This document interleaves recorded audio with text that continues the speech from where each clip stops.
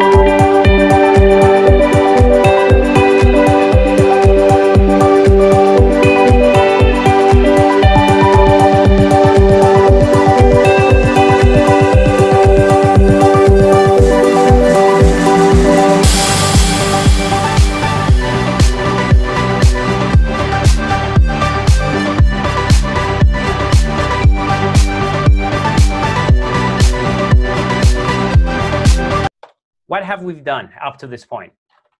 You can see here in terms of model steps, set up your financial statements model, done.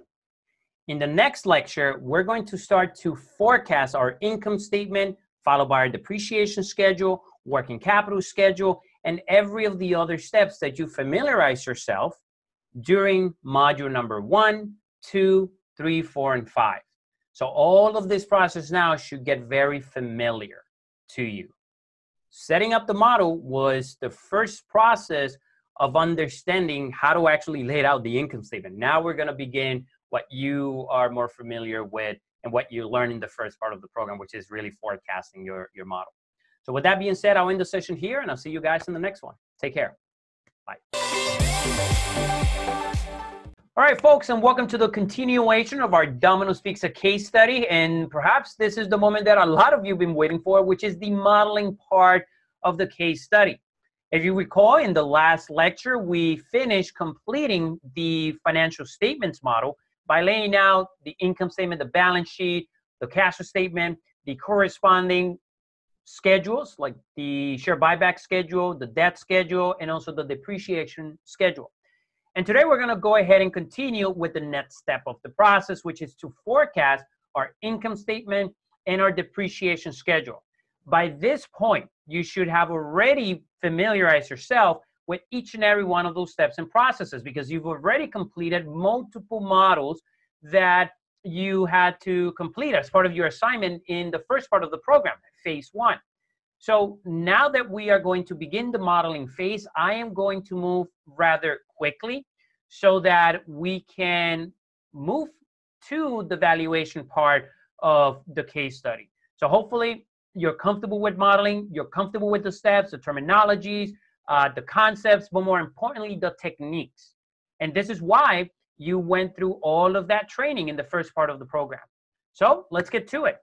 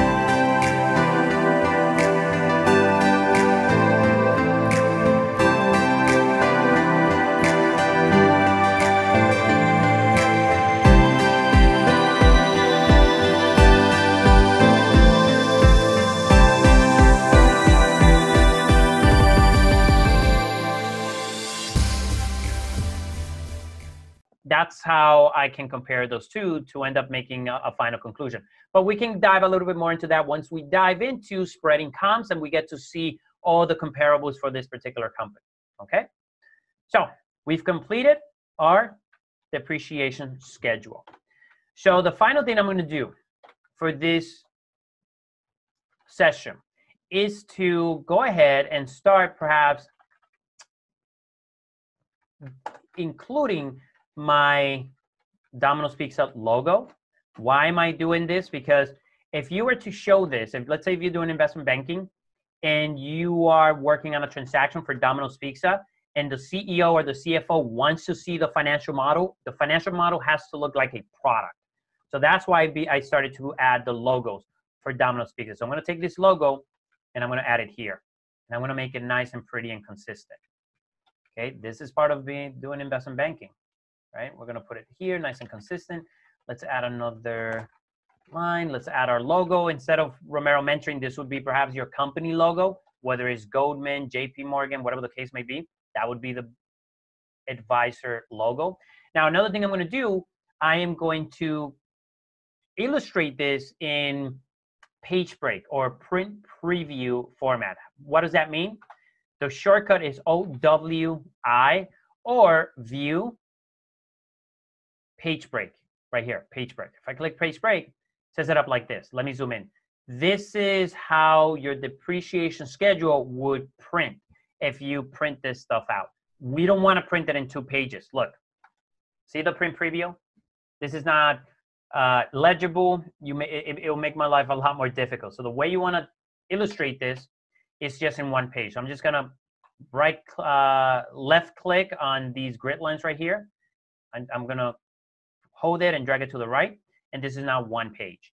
And I also want to minimize this here and add this here and maybe bring my the logo down a little bit. Now, if I do the uh, print preview, looks like this. But of course, the format of the page, it's in what? It's in portrait mode. Let's change it. Go to G, uh, page setup right here, G. You want to put it in landscape and you want to make sure fit to one page. Click OK.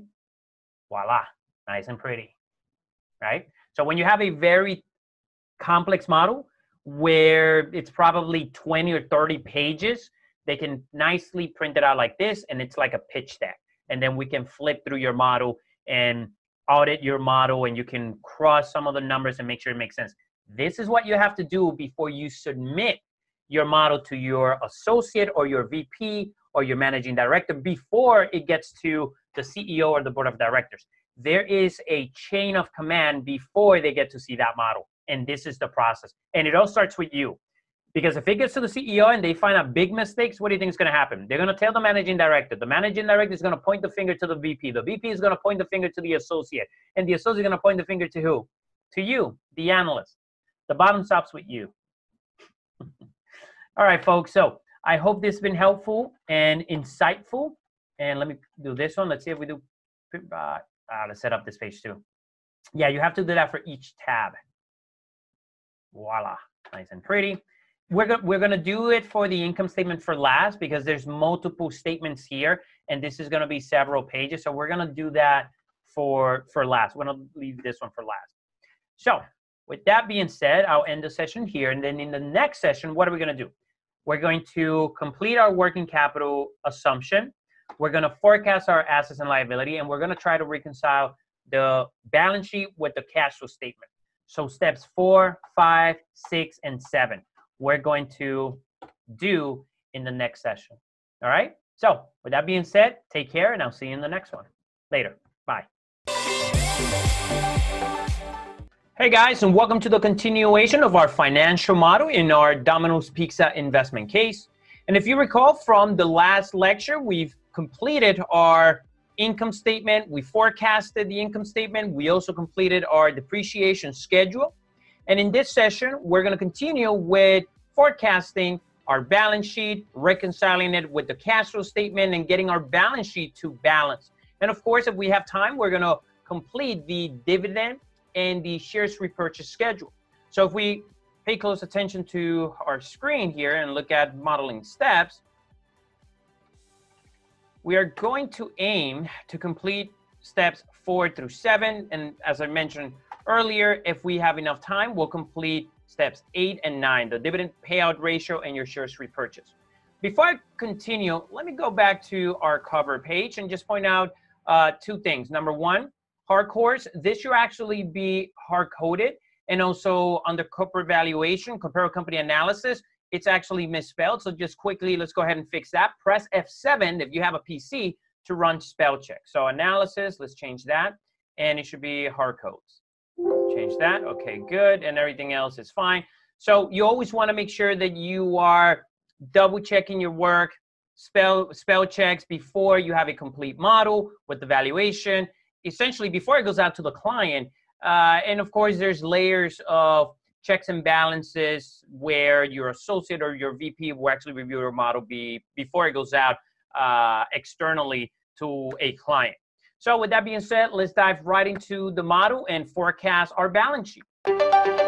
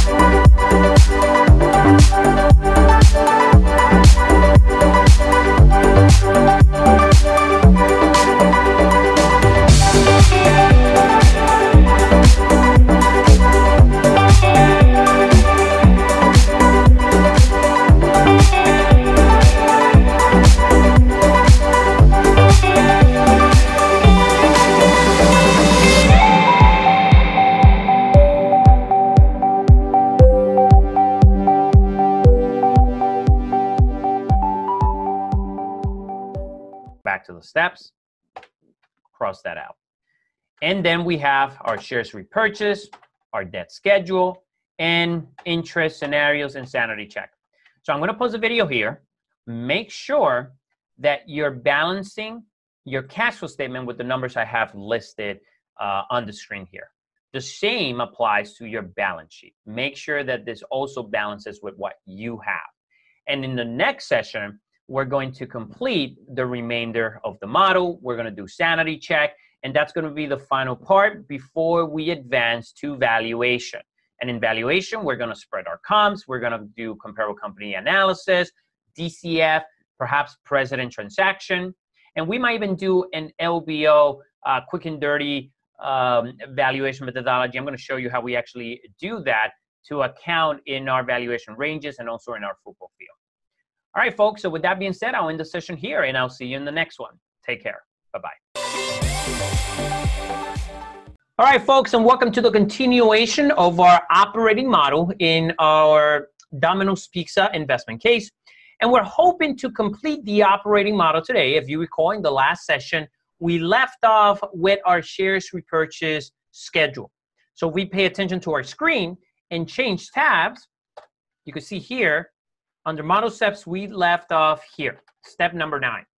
So I'm hoping that we can complete all of this by the in, in this session and then perform some sanity check, make sure that our assumptions and our margins are a little bit more in line with consensus and also sanity check with research reports. And this would hopefully conclude the operating model on Domino's Pizza, which we're going to use to perform valuation, DCF, and comparable company analysis. So with that being said, let's dive into the model and continue with our shares repurchase schedule. Which